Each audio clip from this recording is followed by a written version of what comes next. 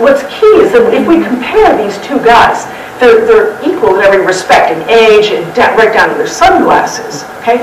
But, but they differ in their skin, skin color, and the man on the right is going to take about five to six times as long to make vitamin D in his skin under intense sun conditions. So let's say here at the winter solstice, January, outside in Johannesburg, these two guys are outside. This one will take about five to six times as long to make vitamin D in his skin as the guy on the left. Now, this is not a problem if you're living outside, if you're spending a lot of time outside. Uh, dark skin is not any problem for making vitamin D. But what happens if you go to a different location or you spend time indoors? And that's what I want to get to now.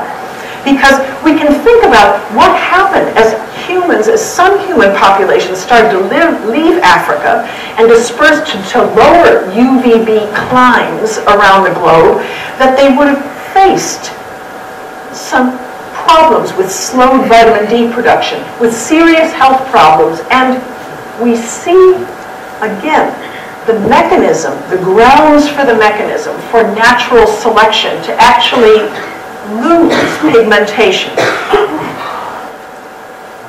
And what we have been able to document, and here I'm using the royal we because I'm talking about some of my colleagues at Penn State who are extremely clever and capable geneticists who have been looking at the evolution of depigmentation.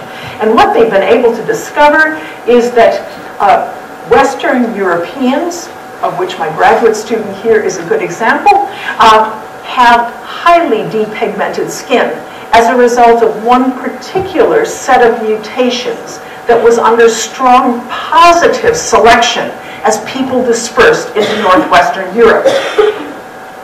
And these, these mutations have been given these fairly horrible names that don't roll off the tip of the tongue, but suffice it to say that there were specific genetic mutations that were unique to northwestern Europeans that allowed them to be depigmented and that then made it easier for them to produce vitamin D in their skin under low UVB conditions. Now, what is so interesting here is that we have other lightly pigmented people on Earth. Here in northeastern Asia, lots of lightly pigmented people who underwent independent genetic changes to achieve depigmentation. These two groups of modern humans underwent independent genetic changes or mutations to create depigmented skin that could catalyze vitamin D formation easily under reduced UV conditions. Was I excited when I heard about this?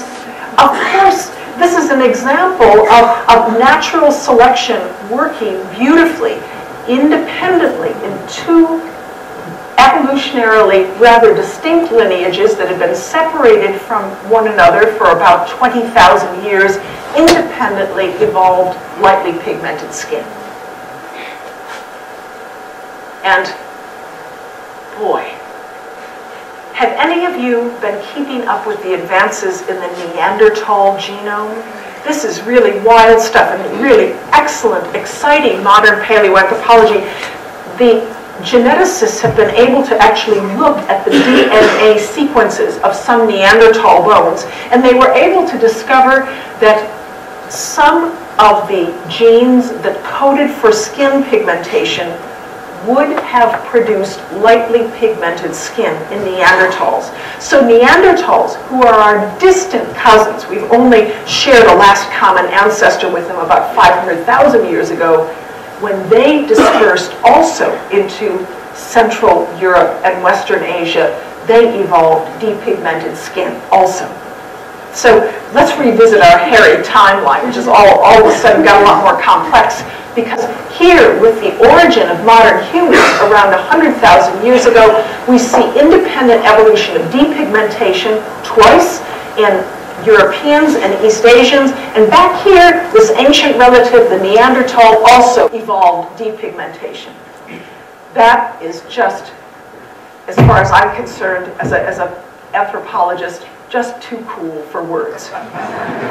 So we can really think about now sort of a a coherent picture of, of skin pigmentation being an evolutionary compromise between the demands of protection against intense ultraviolet radiation at the equator and conducing for the photosynthesis of vitamin D under reduced ultraviolet conditions, ultraviolet B conditions, closer to the poles. And in this way, this is one of the best examples, the best visible examples on each one of our bodies of natural selection acting on humans.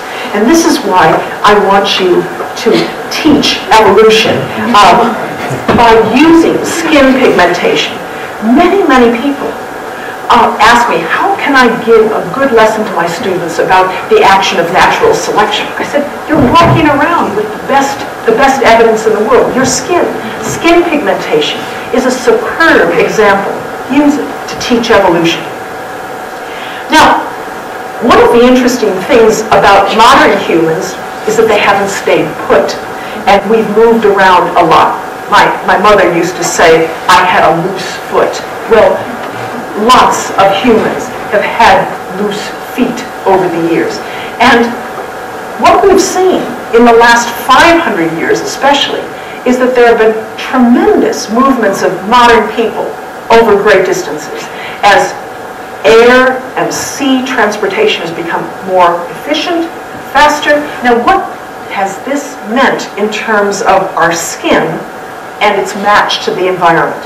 In many of these cases, we have darkly pigmented people going to to areas with low UV. We have lightly pigmented people going to areas with high UV. And we see a real mismatch occurring between skin and environment. And of course, those were just voluntary migrations. One of the most significant involuntary migrations in the history of the world was the transatlantic slave trade.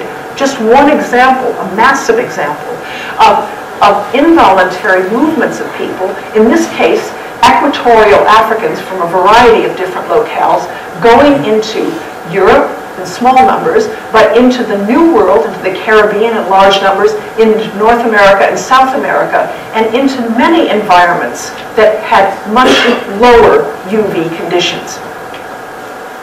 So today, in Johannesburg, today, here on the subway in New York City, what we have are tremendous mixtures of people from all over the place.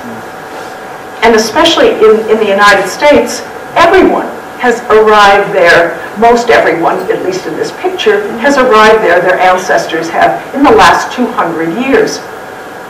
People of moderate, dark, and light pigmentation, all living in a low UV environment. Now, if everyone were spending time outside, let's say if everyone were farmers, all of these individuals could probably make plenty of vitamin D in their skin to satisfy their physiological needs and stay healthy and reproduce in a healthy way. But how many people are farmers in New York City? Okay? Not very many. People are living like this. People spend time indoors. The very nature of modern urban life is indoor life. People who spend a lot of time indoors have major problems making enough vitamin D in their skin. And if they have darkly pigmented skin, it is even more difficult because it means that even during the course of casual outdoor sun exposure, they probably out, aren't outdoors long enough to make the vitamin D that they need. This is one of the reasons why vitamin D deficiency is rife in South Africa. Not only because many people have darkly pigmented skin, but because people spend a lot of time indoors. Of course, there are people with lightly pigmented skin who also suffer the consequences of a mismatch between their skin and the environment. And this poor unfortunate guy simply illustrates uh, an increasing problem, not just with painful sunburns, but with skin cancer, especially among people who take long vacations in the sun or who have moved to a sunny locale from a not very sunny. It's, it's salutary to remember that most of our ancestors never moved very far. They would only move perhaps 10 or 50 kilometers at most during the course of their lives. They never went on vacation. Lucy, Homo ergaster, Turkana Boy, they never went to Tenerife or any exotic locale. They stayed close to home. We don't, and we pay the price for the fact that we live far away from our ancestral homes or spend vacation times away. So when we think about this, this beautiful sepia rainbow of skin color, we can understand the extremes now very well. We've got very darkly pigmented people in, in high UV areas, very lightly pigmented people in very low UV areas, and in between we have moderately pigmented people who are capable of tanning and we see many people uh, here in the, in the southern part of South Africa, in North America and Southeast Asia, we see many moderately pigmented people who are able to develop a deep, rich tan in the presence of summer sunlight that's rich in UV, and they then lose the tan in the winter months.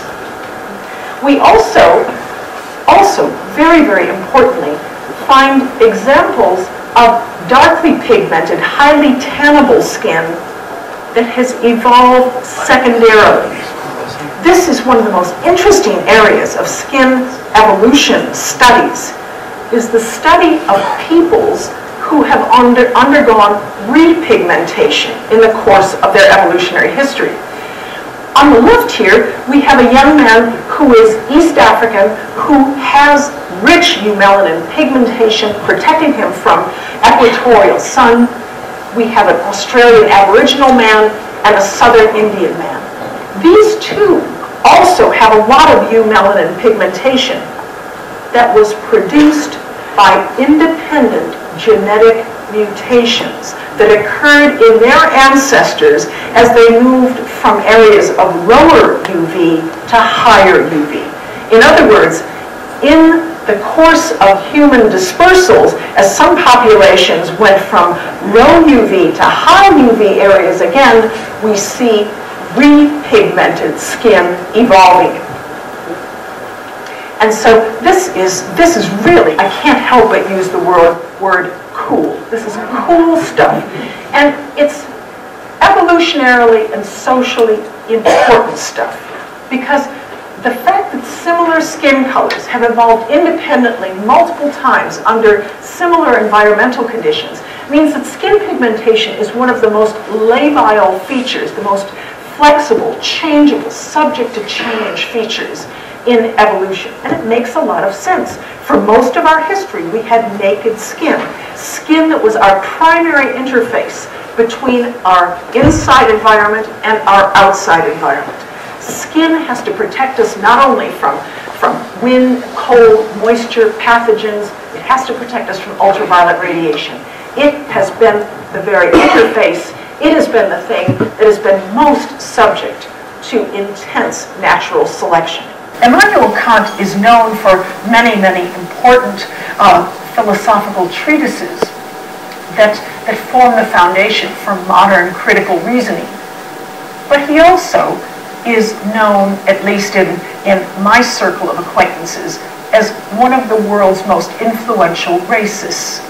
Mm-hmm. Because Kant in 1785 established four different groups of humans he took Linnaeus, some of Linnaeus's elements and he put them, he, he rearranged them. He defined Europeans, Asians, Africans, and Americans. And he said these groups are immutable. They can never change. They, have, they were formed as a result of specific proximity to Central Europe. And they had specific physical traits, and specific traits of character, behavior, and culture. Now, What was different about Kant was that for the first time, he arranged these groups in a hierarchy. Because he said they weren't equal. Linnaeus never really created a hierarchy, but Kant did. And in 1785, he put, surprise, surprise, Europeans on top, full of, of all of the attributes of high civilization. Asians, he put second, because he said, well, they have certain physical attributes that are different, but they're also capable of creating a high civilization. With Africans and Native Americans, he put them in lower rungs, basically saying that they were incapable of developing civilization. And this is why we suffer today. Kant was a very influential man. By the time he published in 1785, he was already a very famous and respected philosopher. And what he had to say influenced other philosophers and naturalists. And these men, they didn't have Twitter, they didn't have Facebook, but they published books, influential treatises that were read by teachers and scholars all around the world. What does this mean for us? It means that we can bring this story of skin color evolution and the story of how people erroneously and fallaciously placed each other in different, in different categories and then ranked the categories according to quality. We can see that this was a mistake. Knowing this, we can play the tape backward, or at least we can create a new tape. A new tape in which education of all of our children can include the study of human evolution, can include the study of human skin color evolution, can include the study of how people came into contact with one another through history and created erroneous classifications of one another that were full of deep and misleading meanings. And we can truly start afresh. But this is something in which none of us is a spectator. We must all be participants. And I'm asking you tonight to be a participant, everyone, in this process of engaging with your fellow human beings to talk more about this difficult but important part of the human condition. We are beautiful. We are one people. But we must all, through act of will, through strong will and motivation, we can change we can fight racism, and we can become truly one people. I want to thank especially my husband, George Chaplin, for his tremendous support and collaboration over the years. I want to thank PAST, a tremendous organization that's doing wonderful things for the study of origin sciences and much more in Africa specifically, as well as Standard Bank for their generous support of this lecture. And I thank you very much for this most generous opportunity to, to have me here. And I hope that you can take a little bit back with you in your heart and mind and infect other people. Thank you very much.